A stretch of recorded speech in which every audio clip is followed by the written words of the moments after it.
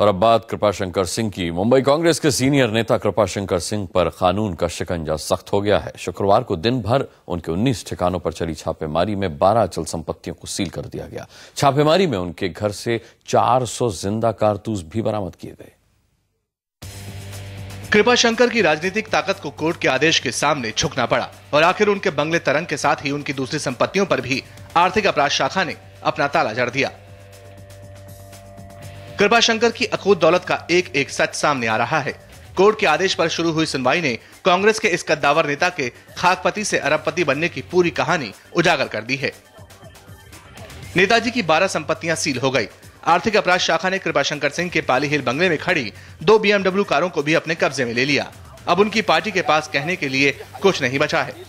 कृपाशंकर जी के बारे में क्या फैसला लिया गया? कुछ पार्टी की तरफ़ से कुछ तो सोचा गया या फिर वो आपको मोहन प्रकाश जी जो हमारे प्रभारी उनसे पूछना पड़ेगा। जहाँ तक एफआईआर की बात है वो भी हाईकोर्ट के आदेश पे हो रहा है और मुंबई पुलिस ने किया है। अब पार्टी उसके आगे क्या निर्णय लेगी पार्टी के वर्ष तय करेंगे। मुंबई अध्यक्ष के बारे में फैसला यहाँ नहीं होगा वो दिल्ली में होता है।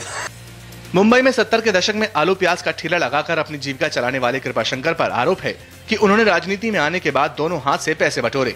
कोर्ट में उनकी संपत्ति का जो ब्यौरा पेश किया गया, उसके मुताबिक अभी सांता क्रूज में धोबी घाट के पास, एक चाल में रहने वाले कृपाशंकर सिंह के पास आज 300 करोड़ से ज़्यादा की संपत्ति है। इन संपत्तियों में विले पार्ले ईस्ट में 1335 वर्ग फीट बिल्ट अप एरिया और 550 वर्ग फीट टेरेस वाला एक डुप्लेक्स फ्लैट पनवेल में 1100 वर्ग फीट की एक दुकान, रत्नागिरी ज़िले के वाडापेट में 250 एकड़ का आम का बगीचा, जौनपुर में 8000 वर्ग फीट में बना कॉमर्शियल कॉम्प्लेक्स शामिल है।